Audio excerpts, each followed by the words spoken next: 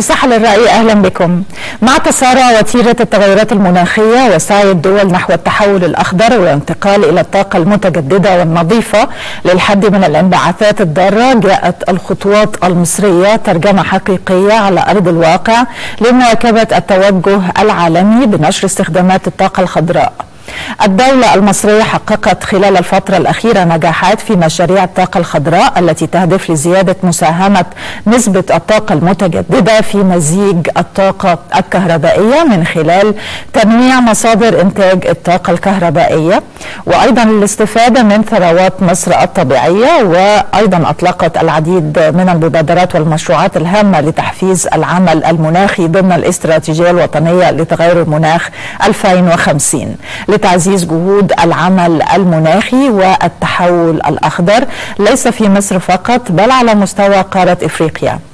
للمزيد من التفاصيل مع ضيفنا دكتور محمد سامح نعمان الأستاذ بكلية الهندسة واستشاري الطاقة الجديدة والمتجددة. أهلا بحضرتك. أهلا بحضرتك أهلا بك الآن مشاهدينا مع تقرير ونعود ونبدأ الحلقة.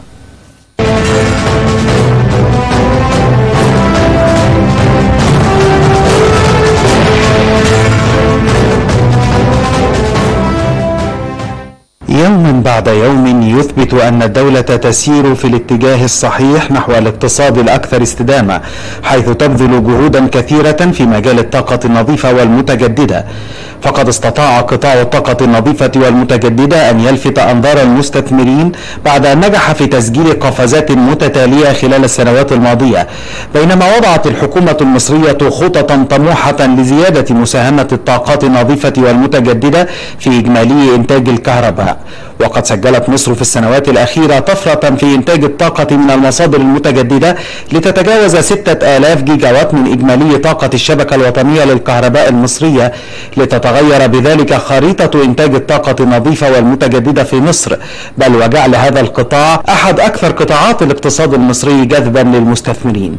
وتنتهج الدولة المصرية استراتيجية هامة نحو زيادة حجم الطاقات المتجددة وخفض استخدام الوقود الأحفوري وتحويل مصر لمركز لإنتاج الهيدروجين الأخضر بالمنطقة استغلالا للمزايا النسبية لمصر من توافر الأراضي اللازمة لإنتاج حجم كبير من الكهرباء من الطاقة المتجددة وكذلك موقع مصر الجغرافي الذي يمكنها من تصدير الطاقة الخضراء والهيدروجين الأخضر ومشتقاته إلى أوروبا والعالم تنفيذا لتلك الاستراتيجية تعزز مصر استثماراتها في الوقود الأخضر عبر محاور مختلفة تتمثل في توليد الطاقة المتجددة الخضراء وتسعى لتحقيق حلم التنوع في مصادر الطاقة النظيفة بحلول عام 2025 حيث تعمل إلى إنشاء مصنع الهيدروجين الأخضر لإنتاج الأمونيا وتصديرها وقد وقعت عددا من مذكرات التفاهم مع شركات وتحالفات دولية ومحلية لتنفيذ مشروعات إنتاج الكهرباء من طاقة الرياح التي تساهم في خفض انبعاثات الكربون. رؤية للتوسع في الاعتماد على الطاقة الشمسية وطاقة الرياح في إنتاج 40%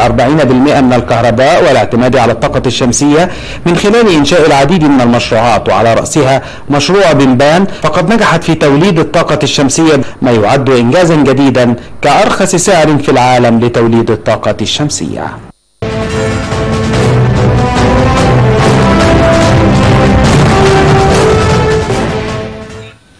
عدنا مرة أخرى مشاهدينا مع ضيفنا دكتور المهندس سامح نعمان الأستاذ بكلية الهندسة واستشاري الطاقة الجديدة والمتجددة. أهلا بحضرتك. أهلا آه طبعا الطاقة النظيفة هي الاتجاه يعني بيتجه ليه العالم ككل في المستقبل. آه طبعا لتخفيف الانبعاثات الكربونية وتخفيف يعني ثاني أكسيد الكربون والتلوث يعني اللي بيحدث في العالم ككل. آه طبعا في البداية عايزين نعرف المشاهدين يعني مصادر الطاقة بالتحديد المتجددة وأيضا النظيفة. الطاقة هي بتطلع من البترول بستخدم البترول أو بستخدم الغاز أو بستخدم الفحم أو بستخدم الطاقة النووية أو بستخدم الطاقة المتجددة.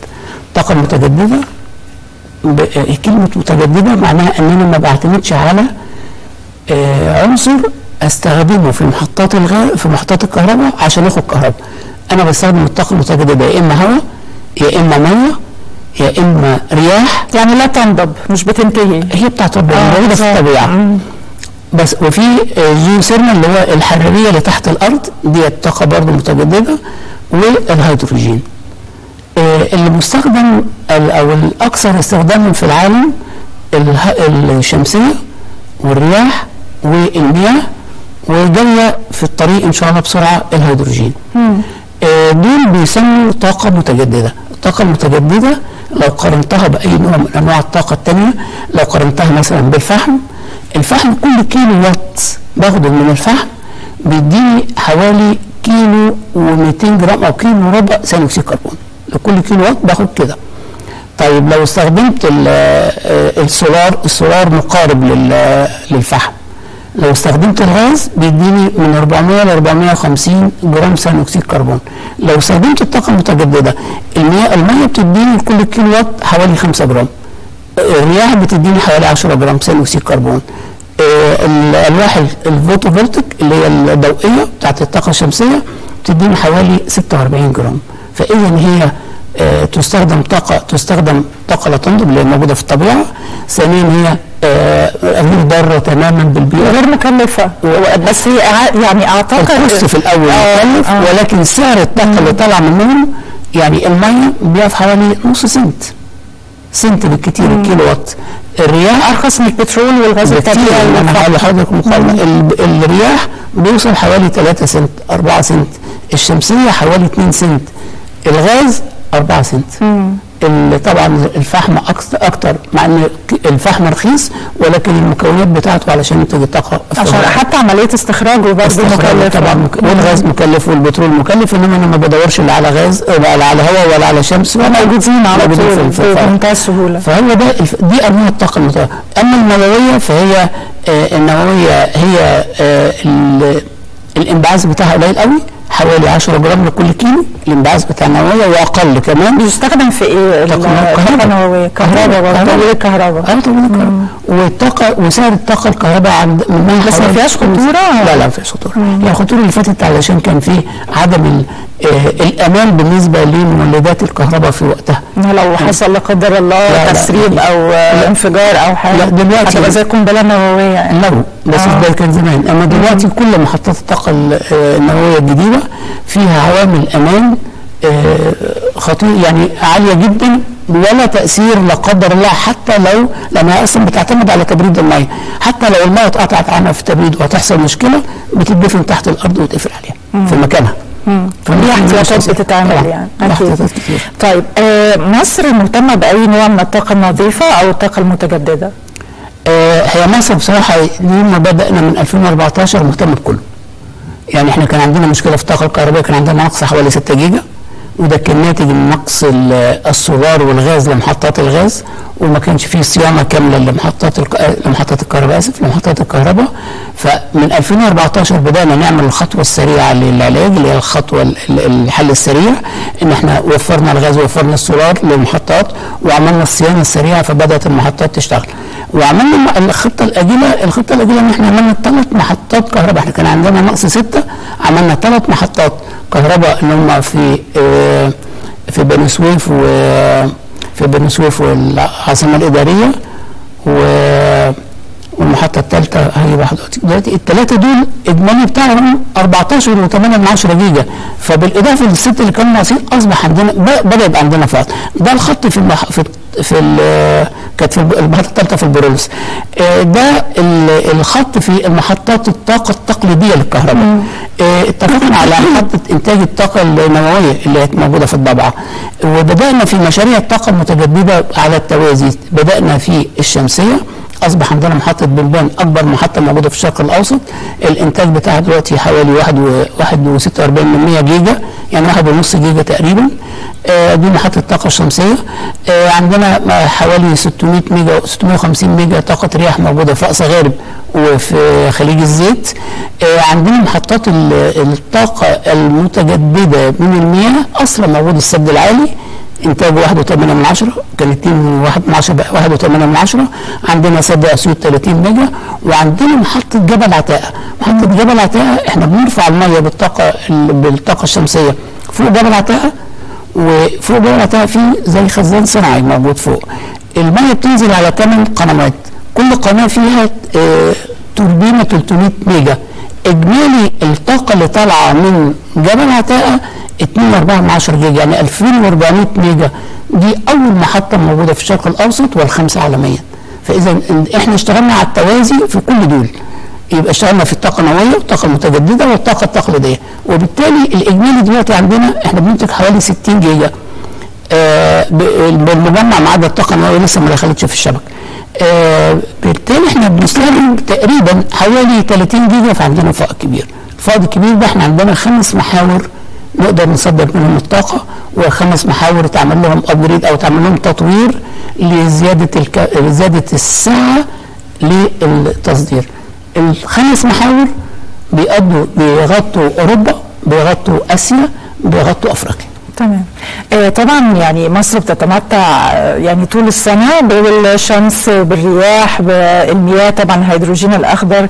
آم، هل في طبعا آه، خطة مستقبلية لتصدير ال- المصادر الطبيعية دي للخارج سواء كانت أوروبا؟ لأن أوروبا طبعا في الشتاء برد قارس جدا. ما عندهمش طبعا غاز طبيعي كانت مشكلة كبيرة كمان الشتاء ده. فإيه هي النية للمستقبل؟ هو حضرتك إحنا من سنتين بدأنا في خط تصدير الكهرباء من عند دمياط لأوروبا مباشرة لقبرص وبعد كده ل آه، لأوروبا. الخط ده آه، طوله حوالي 1650 كيلو. ده خط بحري. بينقل 2 جيجا قبل ما يوصل لحد 4 جيجا. ده هيتنقل طاقة متجددة طاقة شمسية. آه، هنصدره للخارج. هيتصدر. آه. آه، ده خط منهم. آه، للتصدير كمان إحنا عندنا خط آه، في اتجاه ال- آه، الأردن. الأردن سوريا لبنان دلوقتي هيربط على العراق وكان الخط أصلا المفروض يطلع لتركيا.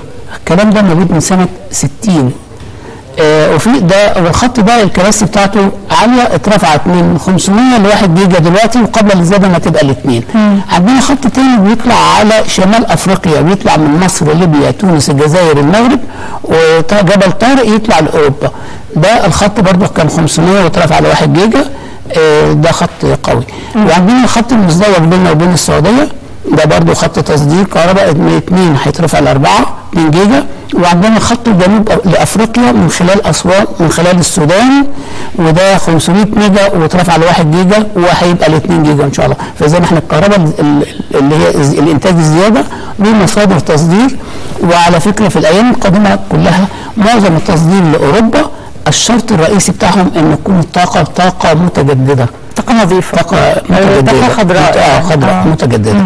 فهو ده ال- الهدف الرئيسي بتاعنا. آه، وهتضاف علينا إن شاء الله الطاقة النووية بالإضافة للمحطات الطاقة الجديدة اللي بتتعمل حاليا بعد كوب 27 اضيفت محطات كتير جدا تحت الإنشاء. آه، منهم واحد جيجا طاقة رياح وأكثر من واحد ونص جيجا طاقة شمسية. طيب آه، طبعا آه، في مؤتمر المناخ آه، كوب 27 آه، مصر استضافت المناخ السنة دي طبعا كان في عدة تصريحات هامة جدا ومن أهمها طبعا التأكيد على الاستغناء عن الوقود الأحفوري لأن هو كان من أهم الأشياء اللي بتلوث الكرة الأرضية. آم، كلمنا أكثر عن الوقود الأحفوري وطبعا إحنا عارفين بدائل هي الطاقة النظيفة. الوقود الأحفوري اللي هو هيبقى الفحم والبترول والغاز الثلاثة دول من يوم ما تواجدوا وبدأنا نستخدمهم بدأ الم- بدأ المناخ عندنا يبقى فيه مشكلة لأن كم ثاني أكسيد الكربون اللي بيطلع من آبار البترول أثناء الاستخراج وآبار الغاز والفحم كم ثاني أكسيد كبير جدا. ومن حوالي 20 أكثر من 25 سنة ساعة ما بدأوا إن هم يدوا تعليمات لمحطات للبترول لشركات البترول اللي بتعمل الحفر عملوا قال لهم إن كنتوا لازم تعملوا آه، مواد تمتص ثاني أكسيد الكربون أو تقلل انبعاثات ثاني أكسيد الكربون للجو.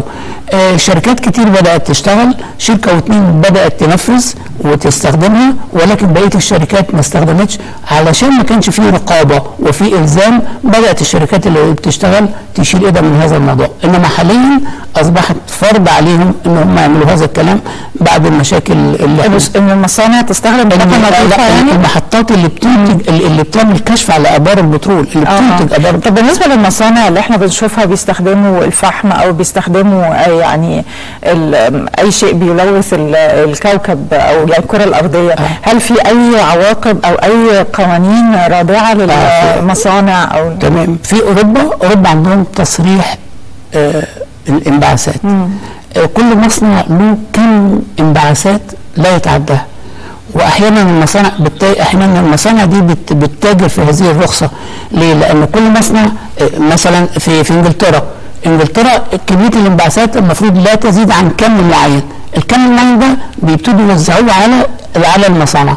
فإذا المصنع انتج أو صدر منه كمية ثاني اكسيد الكربون أكتر من الرخصة المصرح بها بيبتدي عليها عقوبات شديدة جدا. طبعا. آه ثانيا كل مصانع الطاقة اللي بتستخدم الفحم المفروض بتتلغي في أوروبا بس بعد مع بعد المشكلة ما بين أوكرانيا وروسيا كلهم رجعوا تاني إلى الفحم موجود في العالم 2400 محطة إنتاج طاقة كهربائية من الفحم آه معظمها في أفريقيا وفي أوروبا.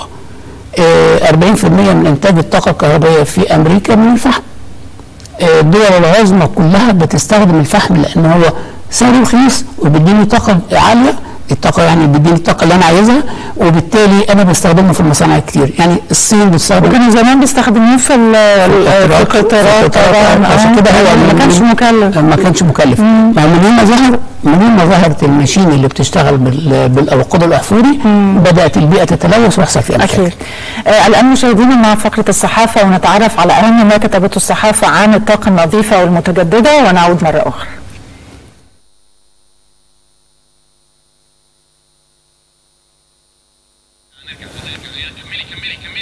نعود مرة أخرى مشاهدينا. طبعا يعني آه، حديثنا طبعا يعني متواصل عن الطاقة النظيفة والمتجددة. عايزين برضو نتعرف من حضرتك كمية ال- الصادرات من الغاز الطبيعي أو من الفحم أو من الطاقة المتجددة. آه، طبعا هي هتمثل طبعا أكيد دخل عالي جدا لل- لل- للدولة يعني. للدولة. أكيد. كيف يمكن استخدام هذه المصانع أو هذه المصادر أيضا في مشاريع أخرى؟ يعني بخلاف الصادرات. الصادرات. هو حضرتك إحنا لو حطينا إيه يعني عشان بقى نبتدي نقارن وجود الغاز ووجود الطاقة النظيفة إيه دخلها إيه تأثيرها على الاقتصاد الاقتصاد المصري بالذات؟ هنشوف. لو أنا أنا لما بستخدم الغاز أنا بستخدم الوحدة الحرارية بتديني حوالي 150 كيلو وات في الساعة. الوحدة الحرارية مصر بتديها لمحطات الطاقة الكهربائية ب 3 دولار. الوحدة الحرارية دي لو أنا استخدمتها في البتروكيماويات بكسب 10 أضعاف. بكسب 10 أضعاف منها. لو صدرتها بصدرها بكسب على الأقل 9 أضعاف. طيب لما أجي بقى أقارن أنا بعمل طاقة متجددة بعمل طاقة شمسية. لو مسكت محطة بنبان واحد ونص جيجا. واحد ونص جيجا دي بتوفر لي في الساعة الواحدة 10000 وحدة حرارية. 10000 وحدة حرارية دي بستخدمها بوفر غاز 10000 وحدة حرارية يبقى ال 10000 وحدة حرارية دي لو في الساعة لو استخدمها في البتروكيماويات بكسب 10 أضعاف. لو استخدمتها في التصدير بكسب حوالي من 9 ل 10 أضعاف. لو أنا استخدمتها في التصدير من ثلاث شهور فاتوا أربع شهور كانت الوحدة الحرارية مش ب 27 كانت ب 84 دولار. أكيد. آه الآن مشاهدينا مع يعني تقرير الصحافة ونتعرف على أهم ما كتبته الصحافة عن الطاقة النظيفة ونعود مرة أخرى.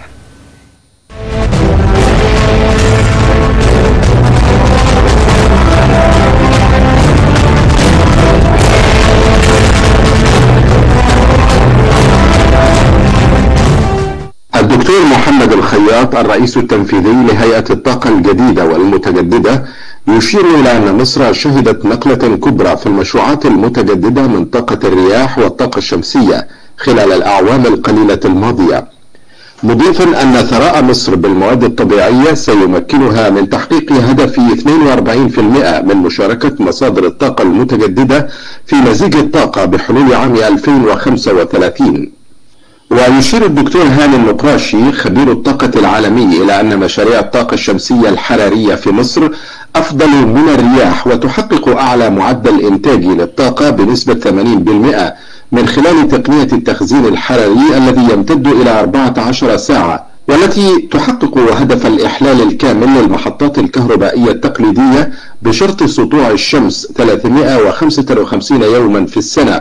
وهو شرط متوفر في مصر. بينما يؤكد الدكتور أحمد حجازي رئيس جمعية مصر الطاقة الخضراء أن هناك ما يؤهل مصر لتكون رائدة في مجال الهيدروجين الأخضر مثل تمتعها بمصادر طبيعية ضخمة كالطاقة الشمسية والرياح فضلا عن السواحل الضخمة وصولا إلى قناة السويس لافتا إلى أن موقع مصر المتميز بين القارات يؤهلها لإنتاج الهيدروجين الأخضر وتصديره للعالم.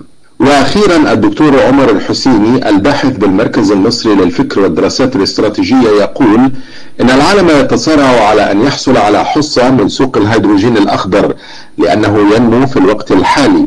ولفت إلى أنه تم إنشاء أول منشأة لإنتاج الهيدروجين الأخضر بالمنطقة الاقتصادية لقناة السويس وبدأ استعماله في بعض القطاعات الصناعية مثل صناعة الأسمدة موضحا أن مصر أصبحت منسق لاستقبال أنواع مختلفة من الطاقة.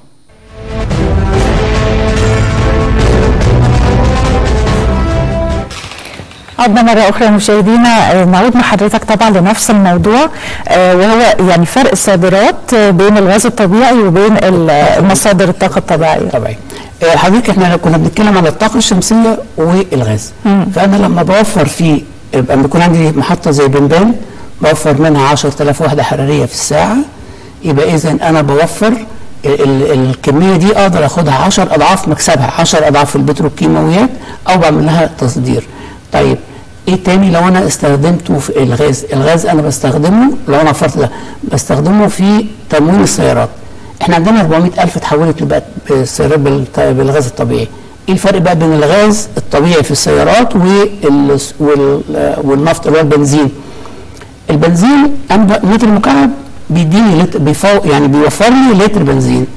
ال 400000 دول منهم 300000 سيارات ملاكي. السيارة الملاكي المتوسط بتاعها 10 لتر في اليوم. يبقى أنا لما ببص على 300000 في ال 10 لتر هيتوفر لي 3 مليون لتر بنزين في اليوم من السيارات الملاكي. وال 100000 دي سيارات ميكروباصات. الميكروباص بيستخدم حوالي 30 لتر في اليوم. يبقى أنا برضه بوفر 3 مليون لتر بنزين من السيارات الميكروباص. يبقى أنا بوفر من لما بستخدم الغاز في السيارات بوفر 6 مليون لتر بنزين في اليوم. أنا بستورد البنزين. يبقى أنا لما بوفر بنزين كده يبقى أنا وفرت للدولة إنها ما تستوردش البنزين من الخارج. ده ده قطاع. طيب لو أنا بستخدمه في في المنازل يعني البنزين بتاع الغاز الطبيعي في المنازل. وصل حوالي في المنازل وفي المصانع وصل حوالي 13 مليون وحدة. أنا كنت بستورد أنابيب البوتاجاز. الأسطوانات. الأسطوانات دي تكلفتها عليا حوالي 185 جنيه للأسطوانة ده زمان. وكنت ببيعها في حدود 70 جنيه. فكل دي ت... العكس ده تكلفة على الدولة. تكلفة على الدولة فأنا كنت بستورد من 300 مليون أسطوانة في السنة. مم. دلوقتي أنا قللت الت... الكلام ده تقريبا للثلث فإذا أنا وفرت استيراد الأسطوانات من الخارج. ده بالنسبة للغاز. الغاز دلوقتي إحنا الحمد لله عندنا حصل عندنا اكتشافين. أول. على مستوى العالم أول اثنين على مستوى العالم في شهر واحد اللي هو دمياط ونرجس حقل دمياط ونرجس الاثنين دول لما يضافوا على الغاز عندنا يبقى إحنا كده عندنا اولا عندنا إمكانيات التصدير غاز طبيعي مسال 8 مليون طن في السنة وده رقم مش سهل آه طيب المحطات بتاعتنا في الاساله ما بتزيدش عن 8 الكفاءة الك... أو الكباسي بتاعتها 8 مليون هل إحنا نقدر نصدر أكتر بالفائض اللي عندنا؟ نقدر نصدر الغاز لأن إحنا عندنا خط انابيب بيطلع من آه من مصر بيطلع على الاردن طالع على سوريا فرع منه طالع على على لبنان والفرع الثالث اللي هو ناقص لو وصل بيننا وبين تركيا هو 62 كيلو. يبقى نقدر نوصل الغاز بتاعنا لحد أوروبا. عن طريق ال 62 كيلو اللي بيننا وبين تركيا اللي هو كان المفروض يتعمل في 20 10 وما تمش نتيجة المشاكل السياسية اللي كانت موجودة. فده لو تم وإحنا عندنا الفائض نقدر نصدره من خلال الغاز من خلال ال pipes طيب ال pipes دي هي الأنابيب. الأنابيب. آه الأنابيب دي تقدر تتحمل قد إيه إنتاج في السنة؟ 10 مليار متر مكعب يعني 8 طن تاني. يبقى إذا مصر عندها الإمكانية إنها تعمل تصدير حتى 16 آه مليون طن مكعب سنويا من الغاز. 8 مسال و8 كغاز. آه مصر طبعا بتتميز إنها الدولة الوحيدة موجوده في الشرق الاوسط اللي عندها اساله غاز وبالتالي إحنا الدول الثانية بتبعت عندنا إحنا نعمل لا سعر وبتبتدي تبيع. أكيد. آه طب إيه هو دور القطاع الخاص آه في هذا المجال؟ هل له دور أم الدولة يعني هي اللي بتتولى هذا الموضوع؟ والله هو محطات بنبان كلها قطاع خاص؟ خاص. بنبان كلها قطاع خاص بإشراف من الدولة. وهي اللي عملت الواحد ونص جيجا وهي لما بدأت يعني حتى تاخد قروض من البنوك كانت وزارة الكهرباء هي اللي ضامنة ليها. فهي اللي هي اللي وزارة الكهرباء هي اللي ساعدت إنشاء بنبان آه، من القطاع الخاص. آه، القطاع الخاص الإمارات مشاركة معانا بواحد جيجا ده كان في مؤتمر كوب 27 آه، طاقة رياح. وفي 750 طاقة شمسية برضو شركات أجنبية موجودة وفي 500 تانية في الجنوب عند بنبان يعني هم بيستفيدوا بجزء من الأرباح يعني آه، هم بيدون ال- ال- الأرض مقابل الإيجار معين والنقل على الشبكة عليها فلوس نقل الكهرباء على الشبكة عليها فلوس لها سعر معين يعني. فدي بالنسبة أكيد. طيب بالنسبة للهيدروجين الأخضر أم، يعني كيفية تحويل ال- المياه إلى هيدروجين أخضر طبعا هي عملية أعتقد آه، يعني مش معقدة ولكنها يعني برضو هل هي مكلفة أم لا يعني؟ آه. بالنسبة للهيدروجين الأخضر مصر قبل COP 27 إحنا قبلها بسنة قبل COP 27 بسنتين. آه كان عندنا م- 22 مذكرة تفاهم لإنتاج الهيدروجين الأخضر. والشركات دي كلها شركات أجنبية وما جاتش من فراغ. لأن عملت دراسة على شمال أفريقيا بالكامل لقت إن أنسب دولة لإنتاج الهيدروجين الأخضر هي جمهورية مصر العربية. لسببين رئيسيين. عشان أعمل هيدروجين أخضر يبقى أنا عندي مية وعندي طاقة متجددة. فهي لقت ان الطاقة المتجددة من 2014 ل 2017 دولة مميزة على مستوى الشرق الأوسط وأفريقيا وبالتالي إحنا عندنا 3000 كيلو متر ساحل الميه اللي هو البحر الأحمر والبحر الأبيض المتوسط فبالتالي نقدر نطلع عندنا مية الاثنين مع بعض يقدر نطلع الهيدروجين الاخضر ده كمان بالإضافة إن من من شهرين بدأنا في إنتاج المعدات اللي بتعمل الهيدروجين الأخضر اللي بتعمل التحليل للمية عشان تطلع بقت بقى انتاج محلي. فأصبحت المكونات والإمكانيات الطبيعية أنا لسه كنت موجودة. حضرتك فعلا على توطين الصناعات اللي بيتم استخدامها. النظيفة آه. أو للطاقة النظيفة عامة آم، توطين الصناعة دي كلها هتكون داخليا في هو مصر الاخضر هو اللي سبق صراحة يعني إنما الطاقة الشمسية لسه ما هياش ال- ما نقدرش نقول الكفاءة ال- الممكنة لإنتاج وحدات الطاقة الشمسية أو الوحدات الطاقة الشمسية في مصر ولا ولا الريح لأن الريح بنعمل جزء من الريش أو الريش مش هي كلها ال- التوربينة. التوربينة كذا جزء يعني. فالريش جزء منها. إنما الهيدروجين الأخضر أصبح هو تقريبا الكامل متكامل في الكينونة بتاعته. إن عندنا الطاقه المتجدده موجودة عندنا الميه والتحليه ومحطات التحلية موجودة فاذا العنصرين الرئيسيين موجودين ناقص ال- المواد اللي بتعمل هذا الكلام. المواد تم تصنيعها موجودة في مصر. وهي دلوقتي في الاختبار فبالتالي المستثمر اللي جاي من بره جاي لل- للكين للأساسيات موجودة. المصادر الطبيعية ده نفسها بالاضافه ان منطقة في تقريرين طلعوا. تقرير من الطاقة آه، آه، آه، منظمة الطاقة الطاقة العالمية اللي أساسها موجودة في فرنسا قال إن محور قناة السويس هو محور هيبقى محور عالمي لإنتاج الهيدروجين وتمويل السفن. ليه؟ لأن في محور قناة السويس جهزوا مكان كامل لانتاج طاقه الهيدروجين محور مكان كامل وعملوا بيه خطوط آه، ربط بينه وبين المينا خاص الربط خاص وعملوا أماكن تخزين للهيدروجين وعملوا مينا خاص لتصدير الهيدروجين وجهزوا محطات الطاقة المتجددة لإنتاج الطاقة الكهربائية عملوا محطات طاقه تحليه عملوا محطات طاقة كهربائية إضافية فاذا البنية الأساسية ال infrastructure موجود والمكونات والمعدات والطاقة المتجددة موجودة فإذا ما فيش أي مشكلة المستثمر بيجي كأنه ترنكي بيشتغل على طول أكيد. آه، دكتور آه، المهندس سامح نعمان أستاذ بكلية الهندسة واستشاري الطاقة الجديدة والمتجددة شكرا جدا لوجود حضرتك النهاردة معانا وشكرا جدا على المعلومات القيمة طبعا اللي حضرتك أفدتنا بيها. ميرسي. شكرا. شكرا جدا لكل المشاهدين على المتابعة وإن شاء الله يتجدد اللقاء.